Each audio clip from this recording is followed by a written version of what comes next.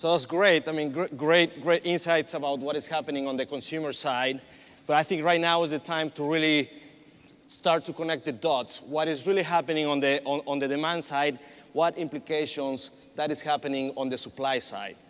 So today we have a, a great panel with us. We have a high caliber analyst here. We have Roland Fumasi, a true expert in the fruits and vegetables supply sector. And then we also, then we have a Don Close, a true icon on the US and beef cattle sector. Then we have Sterling Liddell, our glo global data strategist, who also has a great experience on the farm econ side.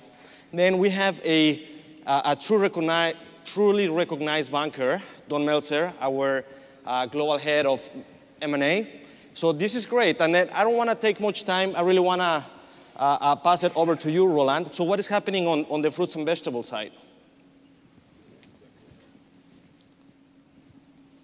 All right. So when you think about some of these consumer trends that my colleagues talked about earlier, certainly the, one of the first ones that comes to mind that's impacting the fruit and vegetable space is convenience. Um, and we say it's queen because uh, taste is still, taste is always king. But I, I want to start and show you that over the last five years, general fruit and vegetable consumption in this country has gone up about a respectable 15, 16%.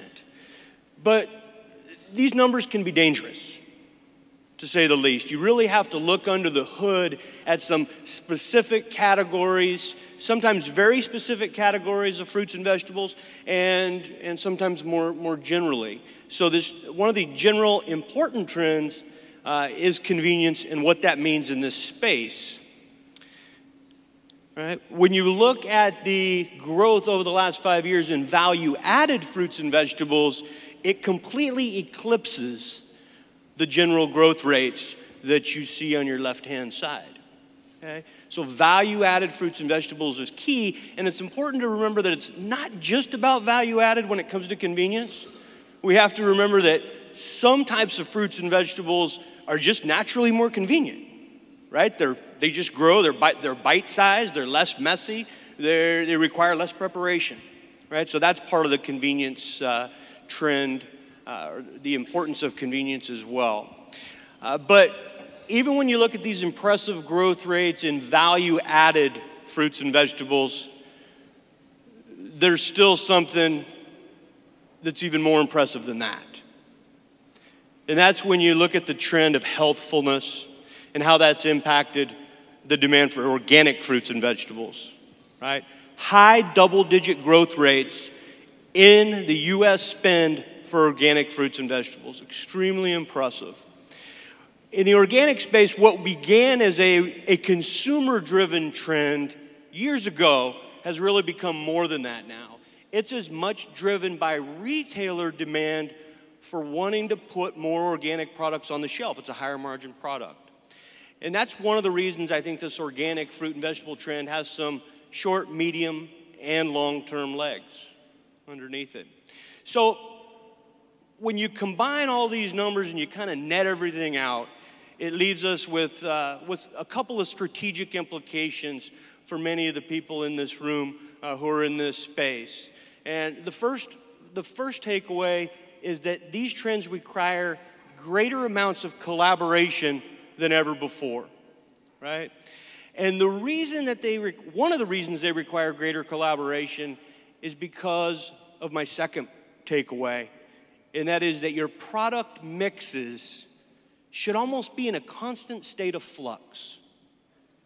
Certain types of produce, uh, uh product, specific commodities in this space probably need to gradually be on the decline on the supply side while you're ramping up other ones because it's all about specificity. It's not good enough to just be in the citrus space or in the table grape space because global demand for table grapes is growing. It's all about having the right cultivars and it's all about having the right mix, right, of conventional and organic production because that's what retailers and the consumers demand today. So, collaboration and specificity in how you define your strategies in the produce space are key.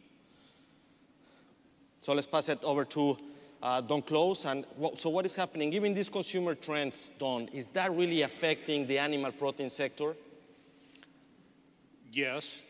I don't know that if we're looking at it of how much it has changed the animal protein space to date, uh, but we're looking at the, the growth of, of, the slide that Paula showed early on and the inevitable fact that uh, grocery shopping will be coming online.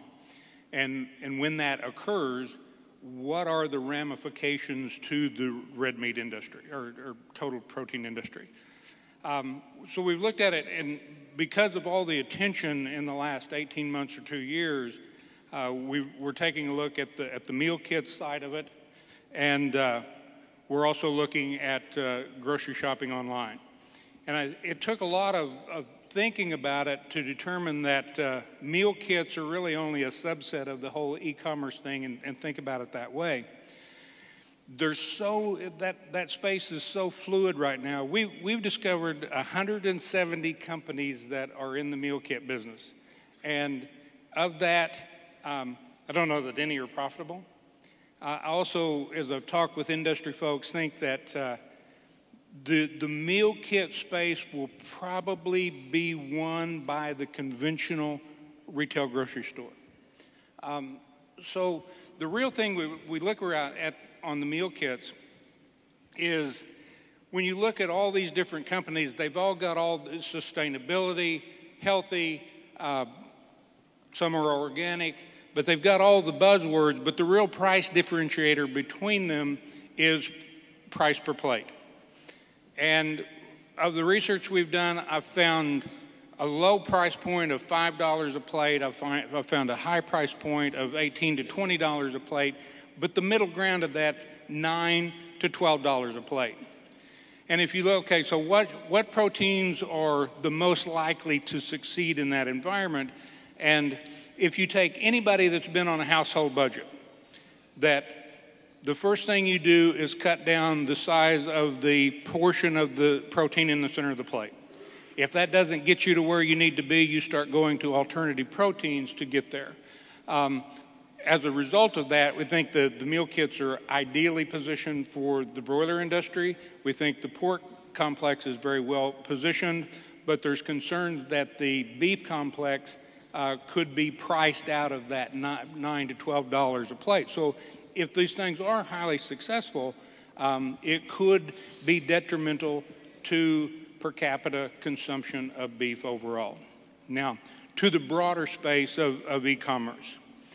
I think just the, the opposite is true when we, we go to that, that space. And what we're seeing is incredible opportunity. Um, and, and if you take a conventional grocery store, and I've simply gone and looked at the, the populations by zip code and looked at the number of conventional grocery stores inside that zip code to find out how many consumers does it take to support a conventional grocery store. And I come up with a number of eight to 9,000. So of that eight to 9,000 consumers, you come to actually about 4,000 consumers. And in a conventional grocery store, we have the majority of that fresh meat case is um, the bottom end of choice on the beef side. We've got a little bit of select product for the value shopper, and depending upon the neighborhood, you'll have uh, a varying degree of branded products, quality and ultra high quality products. And with that population number and that product stream, we can keep inventories cleared. Now we take and explode the size of that pie. Um, e commerce will provide the opportunity to provide product to all of the niche consumers. And if that's a product, a consumer that's looking exclusively for breed specific products, if they're looking for, you know, uh, whatever uh, quality grade differentiation, if they're looking for a natural product, uh, the, the anti antibiotic crowd, uh, NHTCs or, or no implants, even to organics. So we'll have the opportunity to service each of these niche customer groups. The, the real difficulty in that environment is for the conventional meat processing industry. And our U.S. industry, specifically and particularly on the, on the beef and pork side, but we've got large plants that are set up to, there is no off switch. You know, they, they want to open up and they want to go. Um, if we go to all these niche products, it is going to force them to have lots of starts and stops to operations for product segregation. It will force them to have many more SKUs in inventory that will be a, a, a storage and, and record keeping burden for them. Um, so that's going to be the pushback. The, the last point of this thing is for the number of small producers and small specialty producers that are looking to enter the marketplace, I think this could be a really good opportunity because it provides them to meet a market niche that they couldn't provide from a, yeah. from a local brick and mortar store. And I was going to ask you that, you know, during the Q&A session because I was, I was, I, have been kind of intrigued about that. Uh, and, but I, I think it's incredible to really understand that, you know, for example, these consumer changes that sometimes are as a result of what is happening on Facebook could also even have some implications on the G&O side. I mean, what is, for example, what is, what is happening on that, on that space, uh, Sterling? Well, first of all, um, Pablo, I appreciate the introduction. I noticed that everybody up here was a true something except for me, which I'll tell you what I am. I'm a true odd duck, especially on this panel because I'm representing something that we're not normally looking at, which is, which is data and the analytics behind where we're going in the future.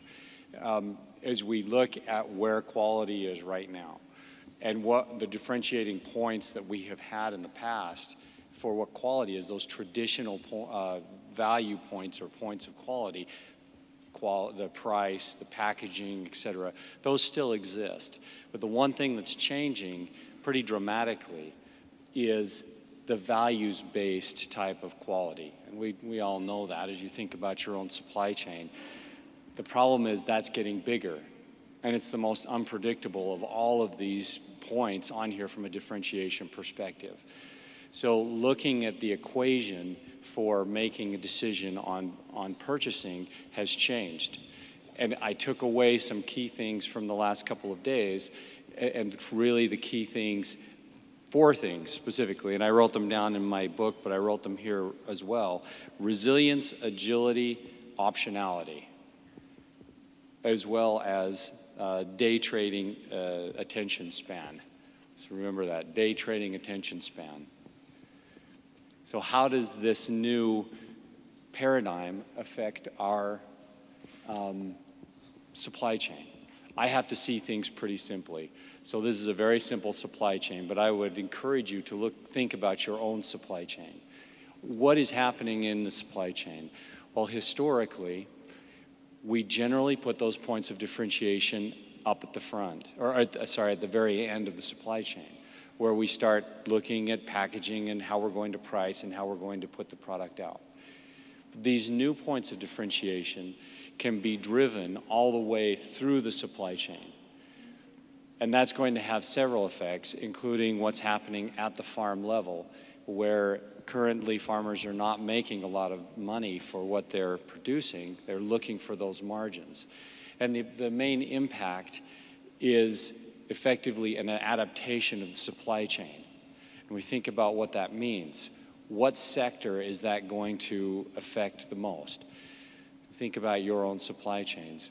As we look at this, especially in the traditional sense, um, looking at farming coming the, down the channel, the sector that be, goes under the most pressure becomes that center wholesale or merchandising uh, sector. It actually, in some effects, becomes under attack by the farmers moving forward and the producers moving backward.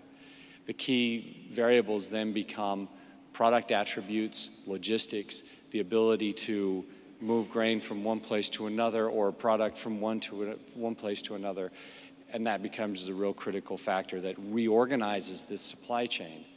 And thinking about it from, again, from a bimodal distribution, is really effective because no longer is the historic chain always going to work or the historic channel, especially if you're in those traditional uh, positions where the wholesale uh, and merchandising uh, industries have already always operated. Yeah, yeah. So, so let's, let's move it to, to uh, Don Meltzer, uh, our global head of M&A, and, and ask him, so given, given these consumer trends, I mean, how important is for companies to start like being for example, being more vertically integrated, for example, to, with the farm gate? Well, first of all, uh, Pablo uh, and my colleagues, and, and frankly the previous panel, uh, what we're describing is, uh, is truly a historic transformation over really the past five years in, in the entire food industry. Uh, and the big picture is that instead of our industry working from a push point of view, it's now working from a pull point of view. Uh, with customers and consumers demanding variation that basically our supply chain is not, was not originally uh, set up to, uh, to manage. And, uh, but all of the things that have been described are are managing to take advantage of the, the, the change in consumer preference. This is also taking place at a time cyclically where we're in a very low commodity uh, agricultural pricing environment. So in some ways, that's created a buffer for the supply chain to, uh, to make some adjustments to deal with consumer the, the variety of consumer preference. Um, it's an interesting question to ask if we get into it, when, when we get into a different uh, kind of raw, call it raw material pricing environment, what pressure, further pressure that will put on, uh, on the merchandising and processing companies in, in the midstream. All of this in industries that are in this kind of radical transformation generally leads to a lot of strategic activity uh, because the certainty of your businesses, the models they've pursued is, uh, I don't want to say quite under attack, but, but is, uh, are facing uh, strategic questions. All of this is also taking place, as Mohamed El-Erian described, in, in uh, extremely favorable financial markets. So we are seeing a huge amount of, uh, of advisory activity, uh, which we will continue to see when we're in these kinds of favorable markets. But financial markets are cyclical. And so uh, this is kind of a unique moment where transformational activity is occurring, and we expect it to continue to occur. Great.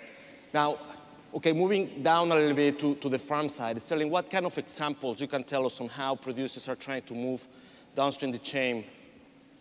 So this, so this is relevant for the, the earlier panel as well. Um, when Steve was talking, Steve Rannekleiv was talking about micro um, branding, there are opportunities for all, to go all the way back to the input provider and organize that supply chain all the way through to the, to the end user, which is the customer. Uh, this is a direction that it's going, and, and will eventually Amazon even be able to organize all the way back um, into, I think Gary said yesterday, Amazon's going to own dairy and he's going to, it's going to own other things, organizing this supply channel all the way back. Right now, what we're seeing also is farmers that are very struggling in terms of being able to make margins on the row crop side. Uh, this is the fourth year that most of them will make a negative margin and looking for where they can pick up some value in uh, some additional value. And a lot of times they're looking down channel at what the merchandiser's been making. And how do I go around that merchandiser and deliver directly to the processor? At the same time, the processor is looking back up the channel, how do I connect directly with the farmer? And, and so some of the examples of farmers loading trains, trying to price the components of their wheat uh, for example, to get uh, better prices on the both the, the um, foreign matter blend of the wheat and also protein. Loading a train car or two and shipping it, that can have an effect. Um, in other cases, of course, uh, organic transformation, where you're mm-hmm. looking at uh, contracting for organics or contracting for other specific attributes in the, in the product, um, and, and really evaluating additionally buying assets like small elevators mm-hmm. uh, where they can store grain for longer and begin to actually be in that merchandising space. So do you think farmers are now thinking more strategically, being trying to get closer to the consumer or to the end user part of the supply chain rather than being a commodity producer? Um, farmers will always be a commodity producer. That's what they do. They, they'll work on yield, they'll develop yield. But farm businesses and the enterprise is in a position where it has to figure out how to make more margins, and that's what's happening is, is trying to become closer to that end user uh, and looking for those opportunities. And there are opportunities to help them make more margin if you're in that center channel. Um, but the key drivers here are the fact that the margins are low and also precision ag agriculture is allowing for easier farming and better uh, opportunities to, to yeah. move down the channel. Yeah, yeah. And then, then also kind of like linked to what Sterling is, or what we are talking about, you talk also about integration and cooperation between farmers and, and, and the commercial side. What is happening on the fruits and vegetable side? Sure, sure. So in the fruit and vegetable side, uh, this trend of collaboration's been going on for a long time, driven by perishability, right? So, so really what we see today, if we take value added, for example, it's really a heightening of something that's gone on for a long time. Um, and, I, and I think about it like this if you're in the, va- the value added fruit and vegetable industry and you're actually a processor, right, you've got this capital intensive fixed capacity that you need to keep utilized, mm-hmm. right? So the idea of weather variability on the farm dictating your ability to utilize this fixed capacity can be very scary, right? That can be that can sink everything. Mm-hmm. So what we're seeing uh, in that particular industry is you're, you're seeing these, these bigger name value added type companies really being they're doing a couple different things one they're over contracting sometimes, right? As far as acreage yeah. goes. So when we see yeah. uh, weather variability uh, hurt yields, uh, they, they, they, they can still utilize their, their throughput. Uh, the other thing we're seeing is them expand as far as their regional sourcing strategy is getting larger, right? If, and, and that of course is driven by seasonality as well, but if we have an event here or I can't get the supply I need from this particular region, perhaps I can get it uh, yeah. over from this microclimate. Sometimes not too far down the road, but can be very different. So that's one example of how, okay. how that ties into the value added industry. All right, great. So let me just move to the animal protein side and a little bit what you touched on on your uh, presentation, Don. Uh, for me, actually, it's very interesting to think that the e-commerce is really having an, imp an impact on, on, on, on the animal protein sector. I mean, uh, you, you touched a little bit on that, so I would like to ask you, like, what are the major challenges that, for example, large packing plants are, you know, facing uh, giving, giving e-commerce? I think there's tremendous opportunity. And, and Paula said it very well in her comments that the, the consumer is in the driver's seat and it's all about customization or specialization that they're going to get what they want. And if, and if a conventional packer doesn't provide it for them, somebody else will. Yeah. Now, the one thing that I think is, is different on the animal protein space than certainly in Roland's model and, and even the, the model Sterling's talking about is the seasonality difference of, in that those various primals and they don't all sell the same the same day. That's always a real problem for the small niche producer and certainly for small producers that are just trying to enter the market. And so I think instead of trying to go it alone, I really think that a lot of these specialty producers or small producers that are looking to enter into that broader market space would actually be better served with collaborating with a conventional processor. Mm-hmm. And if it's nothing more than a toll kill, but that major packer is in the background. If, if we're in the middle of the, the grilling season and it's we can sell ribs and strips all day long, but we're having a, a tough time getting around of those thick meats, they can help facilitate that. Where a small producer, you know, same opposite season, we can sell roast real well during the middle of the winter, but how do you how do you match all of those the, the seasonality demand on yeah. your own?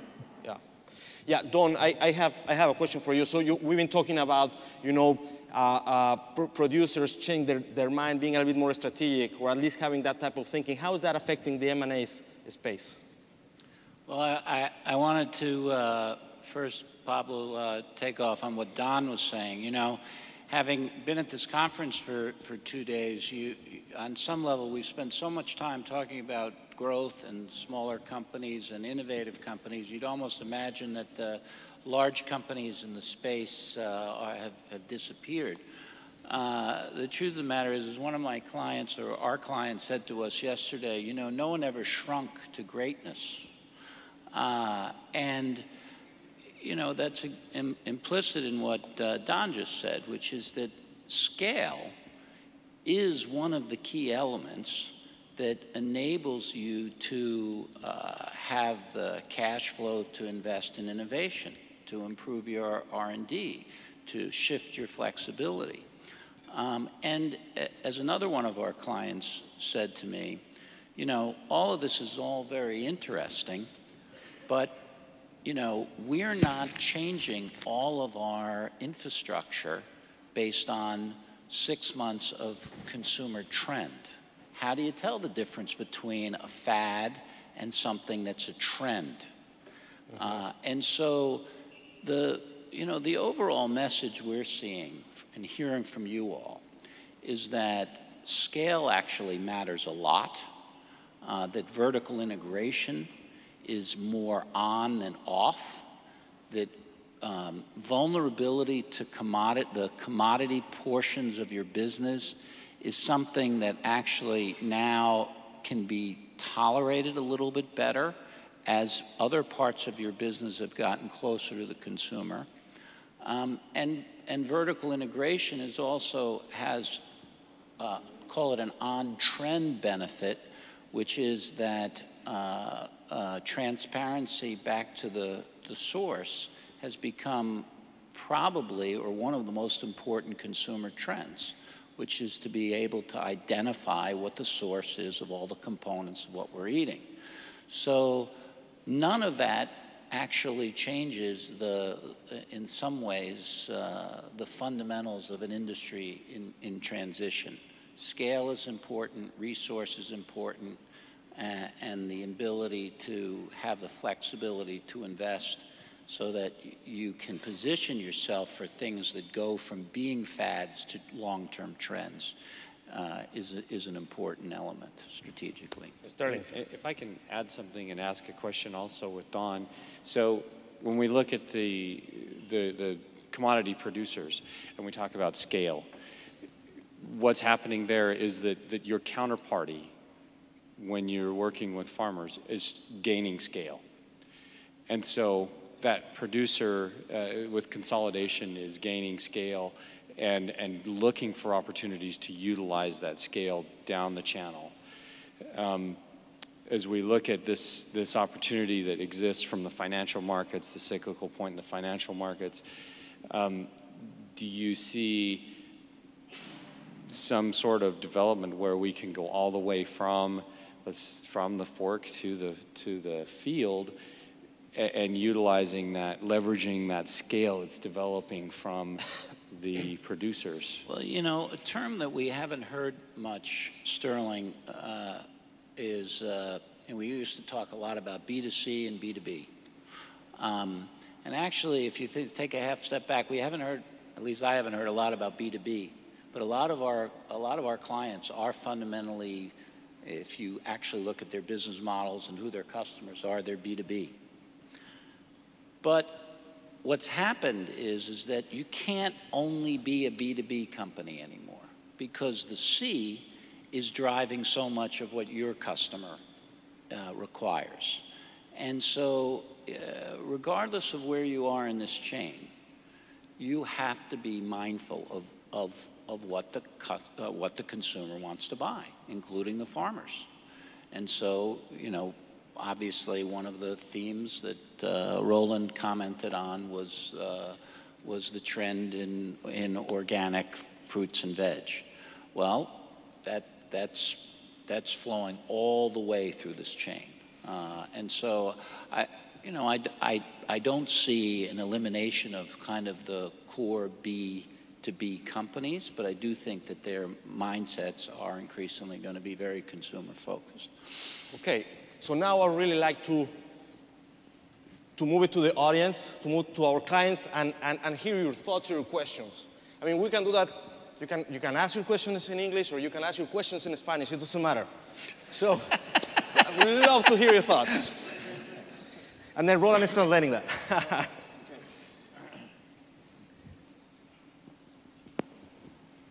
Ken, you always have great questions. Yeah, yeah, sure.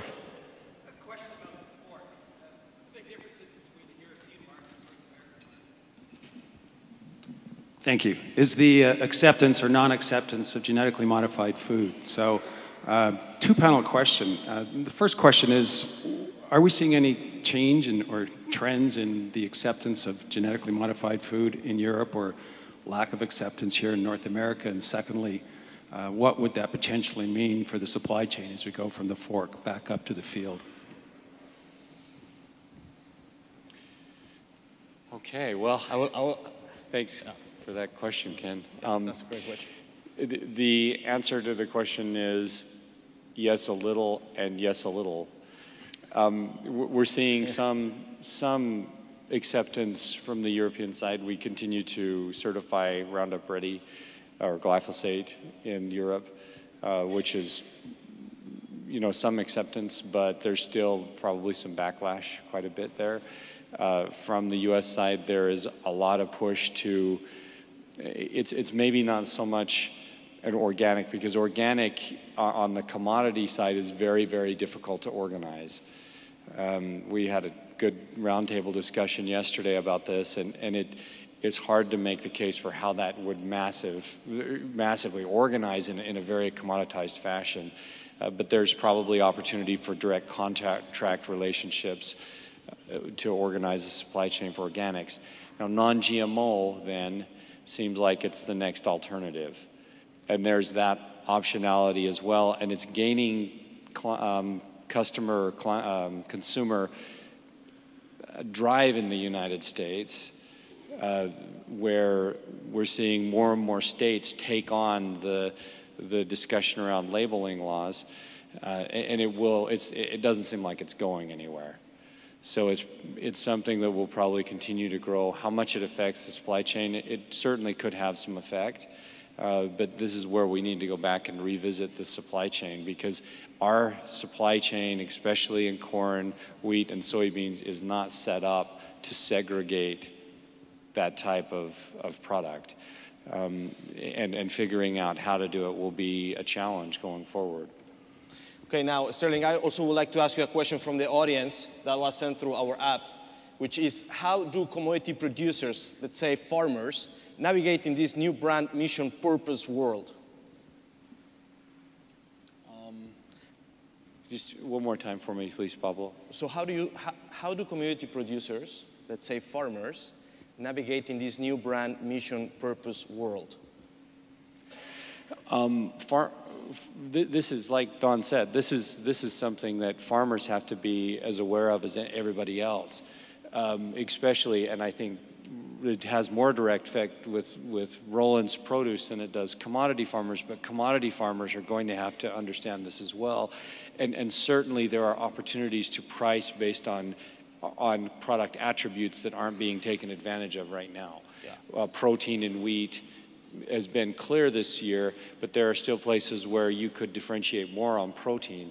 Protein in soybeans uh, could eventually emerge as, as a priceable attribute.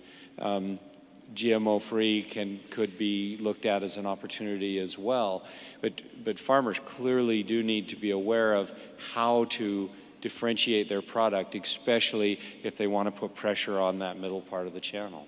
Yeah. Okay, now let's, let's move back to the audience. I think there was a question somewhere here. Back there, probably. I can, I can, okay, yes. Oh, thank you Yes, very McCart.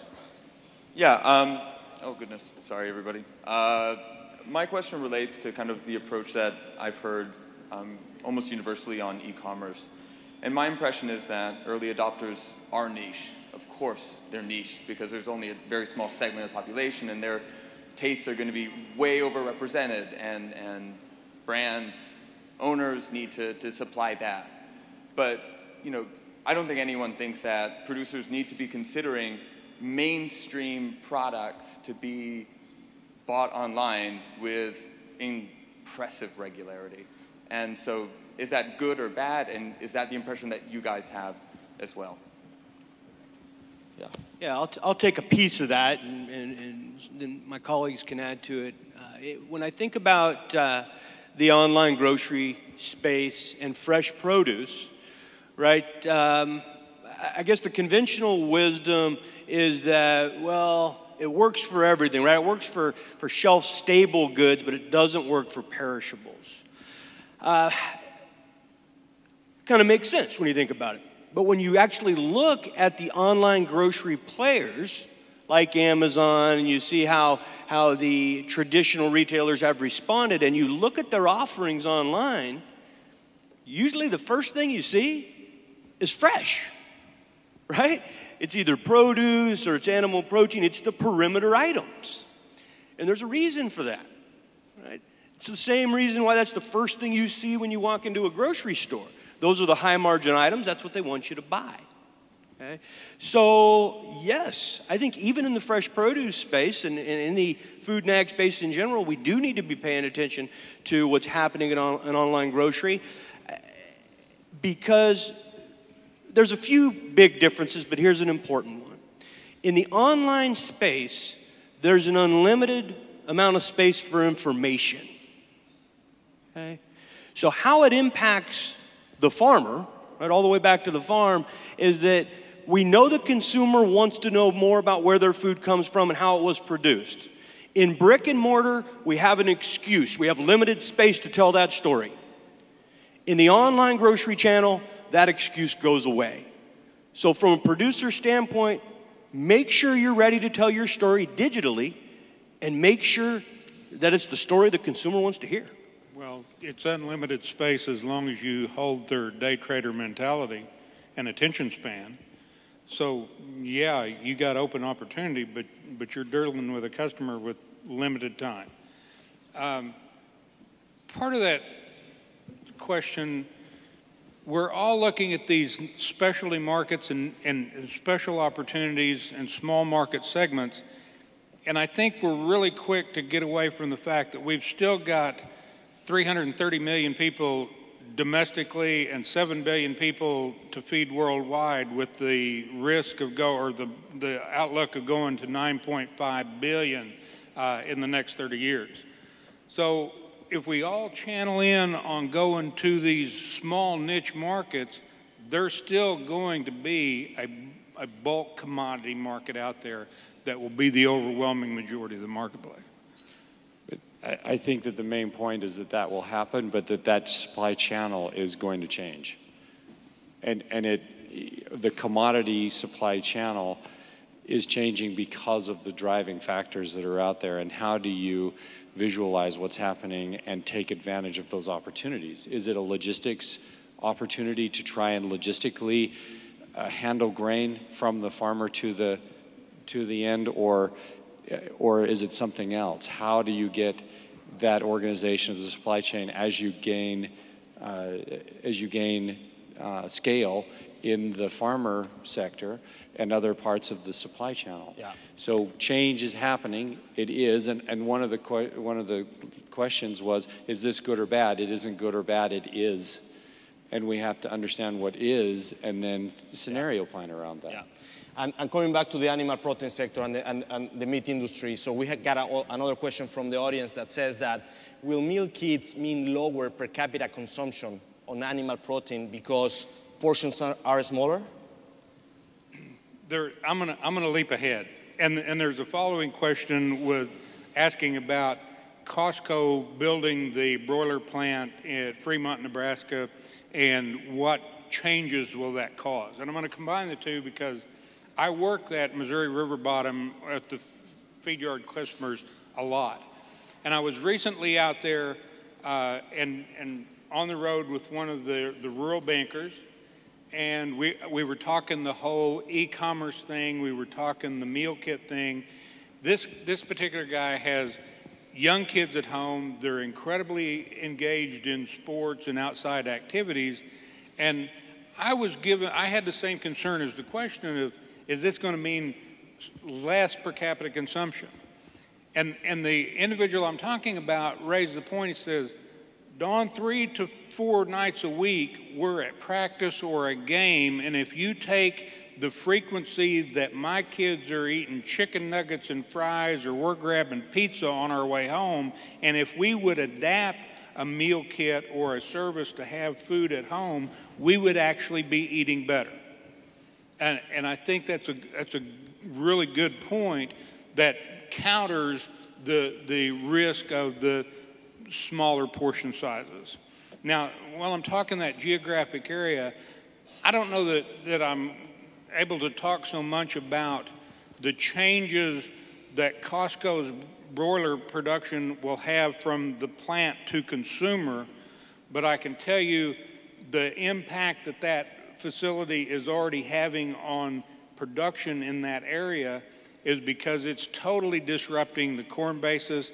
It's totally disrupting, uh, I say disruption, but I, I, I know one multi generational uh, cattle feeder specifically who has been an industry voice person uh, for championing the beef industry. He asked for a private meeting to me because he's looking at putting broiler houses in the irrigation corners of the irrigation circles on his place to provide opportunity. So it's going to, it's going to have a big impact on the production side. Yeah. And we have only two more minutes to go, and I, I would like to uh, ask Don Meltzer. So, what are, so given, given all these consumer trends and implications on the farm side, what, what else? How do you want to wrap this up? Well, uh, you know, I think that uh, um, really it's been an exciting um, two days, and once again, uh, you know, Rabo was very pleased to have hosted all of our clients. Uh, um, I think we've covered actually most of the themes, Pablo. So in an unprecedented fashion, I'm not going to use up my time. So um, we uh, appreciate all of your participation and thank you. Yeah, no, thank you very much. And we, we still have a uh, David Bassett that will will wrap it up the, the, the program. Well, thank you very much. It was great being with you. Thank, thank you.